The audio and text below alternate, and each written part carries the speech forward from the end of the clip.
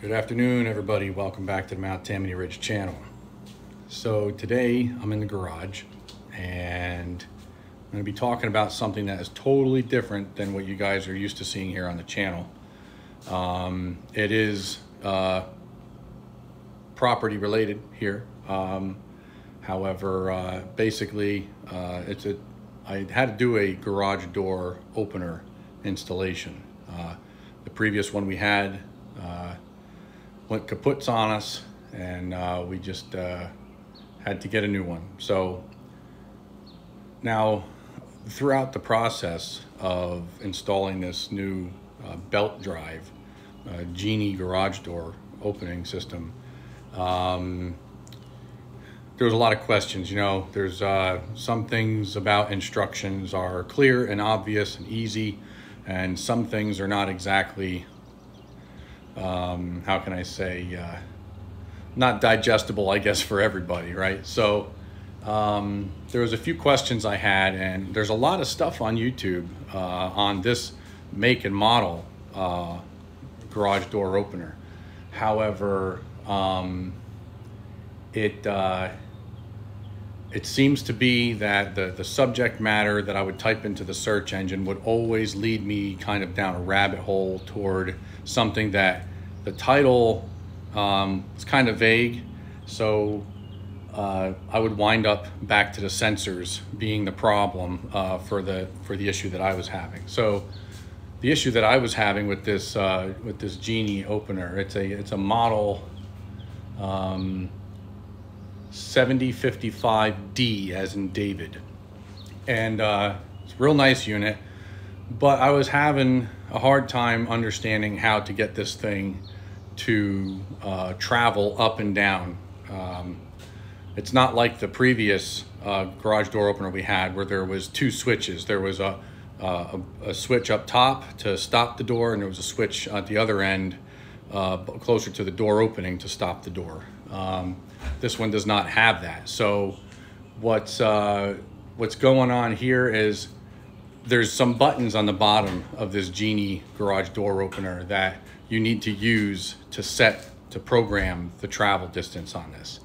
And uh, you could see it in the instructions, but when you started messing around with the buttons, it wasn't exactly clear. So I'm gonna flip you guys around here and I'm gonna show you the buttons I'm talking about um, and uh, explain, you know, how, how you have to go about it. All right, so I'm gonna bring you guys up close here to the underside. Now that's the model number, okay? So um, straight up right there, okay, you got a set button, a positive and a negative.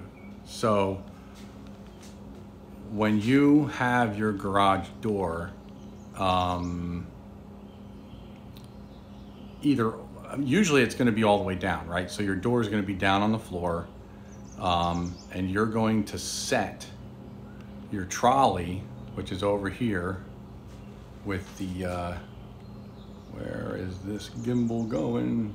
There you go. Come on. There we go. So that's the trolley there. Okay.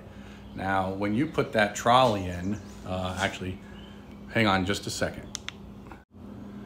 So I'm gonna put this thing down, okay? And I'm gonna see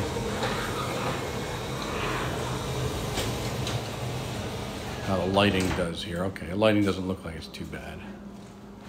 So over here, okay, you got the trolley. Now, from the this side of the trolley closest to the wall of the house, okay, or the front or the, the garage door side, uh, of the trail system.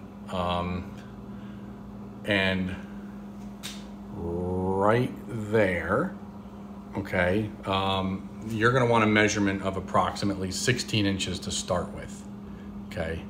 Um, and that is basically, it's just gonna make setting the travel distance a heck of a lot easier and you're less likely to have things get bound up down here and possibly cause some damage to the gear system. So um, this lighting's not the greatest right now.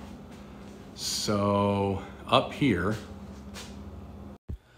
All right, everybody. So my concerns actually did come to the surface. I was trying to go off the cuff and my memory as I was explaining this and I botched it. So here I am doing a voiceover trying to explain what it is I was trying to say.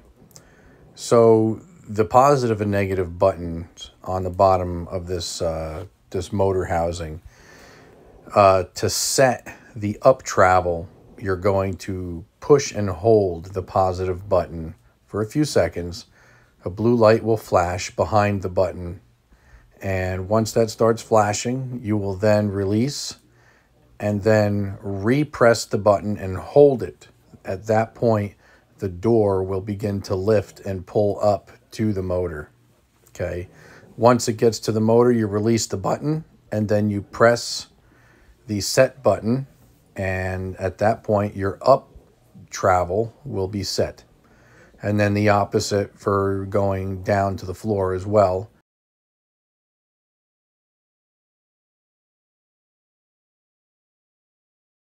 Um, there was a, a, a, little bit of frustration for me, um, you know, dealing with it. Uh, it's a little bit of a learning curve, but you know, the, the more you mess around with it, um, if if you need to, some of you, know, who knows, you guys might be better at it than I am, uh, you know, as far as professional homeowner, right? So, uh, I just figured there, there were there were not any videos uh, posted um, for this type of thing. Um, and, and, and what I, and I should say, to, to, to be accurate, okay, um, when, when I push in the button, okay, and it's, I didn't know that you had to, to set this, okay? So when I had pushed the button here on the controller or on the wall, the door would only go up like, I don't know, six or eight inches and it would stop okay? And then you'd push the button and then it would go back. So in all the years of, you know, goofing around with our old garage door system, typically, you know, that meant that either one of the switches was out of calibration, okay? Or uh, one of these sensors uh, was knocked out of alignment and it was, uh, you know, telling the door to stop. And most of the videos that you come across, you know, they put in the in the title, okay, that, you know, what to do if your door won't open or, or close or, you know, won't do a full cycle.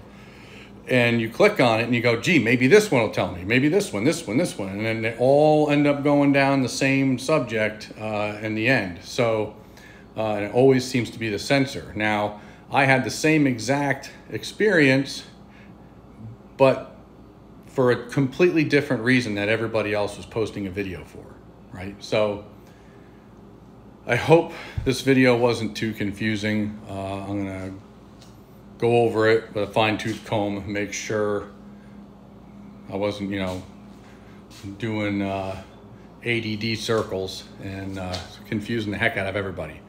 And if that's the case, I'll just redo it. No big deal.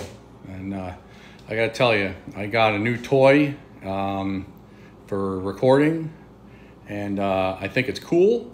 Um, I'll show you guys on another video, but it's kind of heavy. My arm is killing me. So I'm gonna let you guys go for now. If you do like the content you see here on the Mount Tammany Ridge channel, it would be great if you guys could subscribe, comment, hit that like button, and uh, I'll see you guys on the next video.